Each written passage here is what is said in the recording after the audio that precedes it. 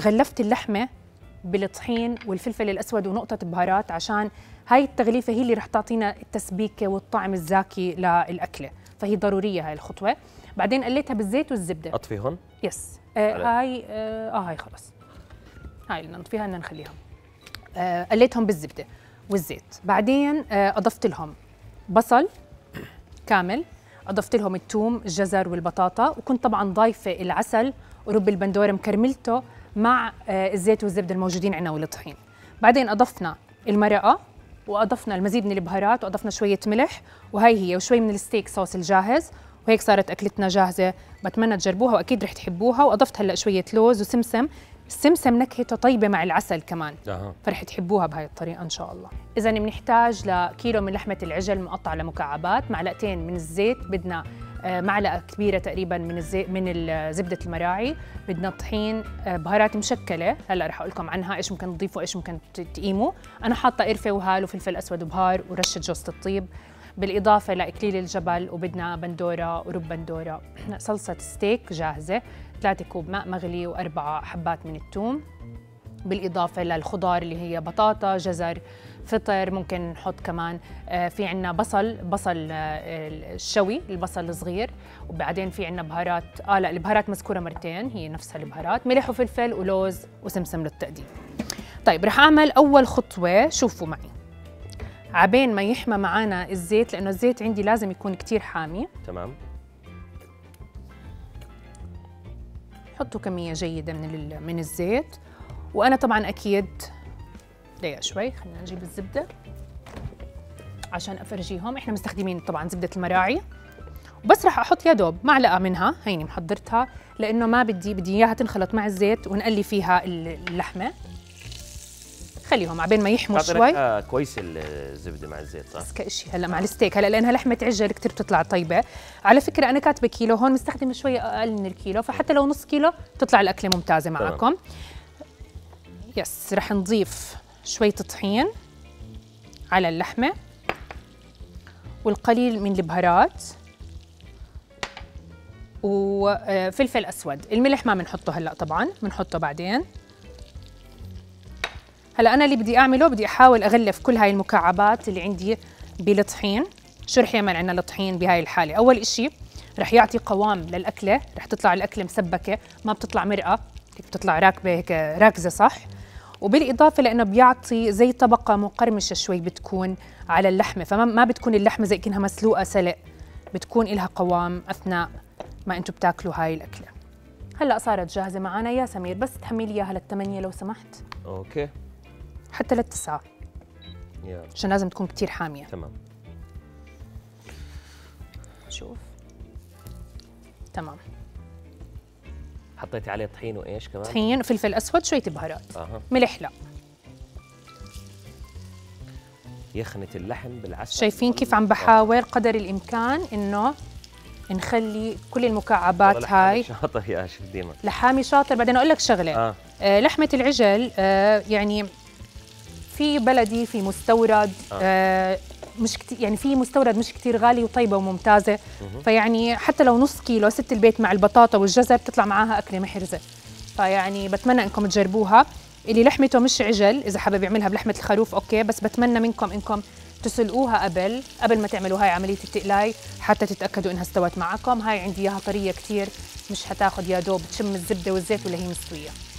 طيب يا جماعة بس بدي أقول لكم شغلة. دائما أنا بحكي ملاحظة إنه لما بدنا ننزل أي نوع بروتين لحمة دجاج على أي طنجرة لازم تكون طنجرة حامية جدا. okay. يعني أنت لاحظت كيف بدك هاي اللسعة طبعا بدنا إياها لأنه هاي اللسعة شو بتعمل؟ صدمة المباشرة بدك إياها. هي بتصدم اللحمة okay. بتحتفظ بعصائرها بتغلفها صح ما بتنزل لك مي ما بتزنخ لعدة أسباب. تمام. فلازم تكون كثير حامية وعن جد لما بدكم تقلوا اللحمة إذا بتحطوا زبدة وزيت رائع رائع بيطلع معها. نكهة الزبدة بالتقلاي زاكي أنا بحب الزبدة كمان بالبيض المقلي هيك. تلاقيها خاصة. هلأ أنا البصل حاولت يكون يعني مش كثير صغار اللي لقيتهم بس أنا بفضلهم يكونوا شوي أصغر. بدي إياه كامل زي ما هو.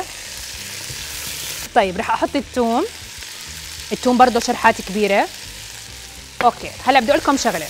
شايفين كل هاي الأشياء اللي لازقة بأسفل الطنجرة؟ طلعوا هاي رح تعطينا الصلصة اللي أنا بدي إياها مع العسل. أنا ضايفة عسل بهاي الأكلة. ما تستغربوا إنه فيها عسل. بليز جربوها قبل. فراح أحط تقريبا ما يقارب معلقة كبيرة من العسل. بدي إياه يتكرمل مع اللحمة هلأ. هذا النايلون. آه. لسه مو ايديك شكرا. تقريبا معلقة كبيرة من العسل. وبرضه بدي أحط رب البندورة. يعني بدي العسل ورب البندورة يتكرملوا هلأ شوي مع هاللحمة. شايفين كيف؟ مع هالخواص تبعت اللحمة عم باخذها من تحت. وبدنا نخلطهم كلهم مع بعض. طيب. اذا زي ما أنتم شايفين هلا كل الخواص شايفين كيف اختفت؟ الخواص كانت عبارة عن الزبدة الزيت الطحين اللي على اللحمة مه. بالإضافة لرب البندورة والعسل. هلا بدي أضي- أضيف الخضار تباعا. أول إشي رح أحط البطاطا عشان برضه تبلش آه، تاخذ لون شوي خفيف. عشان ما تطلع كلها طعمتها مسلوقة. دائما الخضار اللي إذا بنسقطها بآخر الاكله بتطلع طعم كأنه مسلوق سلق. إحنا بدنا إياه يتحمر شوي وياخذ من هالخواص. تمام. طب بدي أحكي ملاحظة. تفضل. هلأ الفطر اللي عندي أنا مقطعته ل زي ما ما أنتم شايفين لقطع كبيرة ما يكون صغير كتير لأنه بدوب بسرعة. بس شايفين حتى ال- يعني الساق في كتير ناس بتخلصوا منه. أنا بصراحة مرات يعني بس بنطفه شوي وبحطه بالأكل عشان حرام. يعني بحس إنه في كمية جيدة بتطلع من السيقان وهي اذا طريه ومش مش قاسية شايفين كيف عم تتفتت معي فعادي نحطها بالأكلة. فرح أنزل أول إشي الجزر أنا جايبة الجزر اللي حجمه صغير. وأنزل الفطر. بتحط المي هسه قبل الفاصل ولا؟ بعد الفاصل عشان بدي أقلبهم مع الفاصل؟ بعض طيب. مظبوط قلبيهم. اذا هلأ في عندي هون زر بندورة واحد حبة بندورة واحدة مفرومة ناعم مقشرة. راح اضيفها لانها برضه راح تعطي غنى للطبق مع هالمرقة اللي رح نعملها هلأ. في عندي إشي اسمه steak sauce آه، مذكور بالوصفة. إذا ما لقيتوه بتقدروا تحطوا معلقتين soya sauce بتقدروا تحطوا إيش مكان هذا barbecue sauce لا هذا steak sauce اسمه. steak sauce شمه ما احلاه هو بس يعني رح يعطي غنى أكثر للأكلة. إذا ما لقيتوه نوعا ما. نوعا ما. okay. إذا ما لقيتوه ما في مشكلة بس هو على فكرة يعني مش مش غالي وموجود جنب الصويا صوص وكل الصوصات الثانية بالسوبر ماركت. تمام. فسهل إنه تلاقوه. فهلأ بس رح أخلطهم مع بعض. اليخنات اجمالا زاكية. بعدين مش بس هيك هي شتوية جدا. مم. وبعدين يا سمير ذكرتني بشيء كتير مهم. بدي أحط لها إكليل الجبل طازة عشان نعطيها برضه هيك دفى وغنى. شوفوا بحطه زي ما هو. مه. بخليه هيك جوا الأكلة بيعطي نكهة وبعدين اللي بده يشيله بشيله. خلينا نحط اثنين. بس مع عاشور تحكي لك فن وإبداع. الله يرضى عليك يا بسمة. هلأ بقدر أضيف الملح. أنا لهلأ مش ضايفة ملح على الأكلة إذا أنتم ملاحظين. هلا بنضيف الملح بعد ما نضج معنا اللحم وضل نحط آخر إشي المي. بس قبل ما نحط المي رح المي أرجع- غليت ترى. آه please بدك إياها؟ يا yes رح طيب. أرجع أحط شوي من البهارات المشكلة اللي عندي. رح أقول لكم شو هي مرة ثانية قديش رح ينطبخ يعني بال- بدنا بس نغمرها. قديش رح ينطبخ بال ساعة. ساعة. 45 دقيقة لساعة عشان كل الخضار تطرى معنا. هلا آم، شغلة مهمة. البهارات هي عبارة آه، شوفوا هلا في كتير بهارات طيبة وفي بهارات يعني بتعزز النكهات يسلموا إيديك خلص غمرناها صح؟ الله يرضى بدي أعبي عشان عشان نعمل قلتي قهوة. بدك قهوة صح؟ آه. حاضرين طيب يا جماعة هلا أنا حاطة قرفة شوفوا أكتر إشي بلبق للحمة أكتر إشي بلبق للحمة هي القرفة والهيل والبهار السادة أو البهار الحلو هدول الثلاثة وجوزة الطيب شوي فأنا حاطة هدول مع الفلفل الأسود والملح روعة يعني إذا حطينا زنجبيل أو كركم أو هيك رح تتغير طعمة الأكلة فبس التزموا بهاي البهارات لأنه مع العسل والكرملة وهاي الأشياء ما بدنا الطعم كله يضرب مع بعض لأنه مرات لما بنزيد الأشياء تضرب معنا عكسي. فنحاول نتقيد بالمقادير رح أعيد لكم سريعا كيف عملناها عبين ما برضه نجيب الجاهزة ونبدأ نسكب فيها. طيب رح أضيف بس شوي تفضلي. شطة مجروشة. تعطي لون حلو. ممكن رشة زعتر بسيطة إذا حابين. أنا هذا عم بعطيه بس للشكل. بصراحة رح أحط كمان شوية بقدونس. أوكي وهون عندي لوز محمص. حاضر أستاذ عبد الله خليفة. حاضر.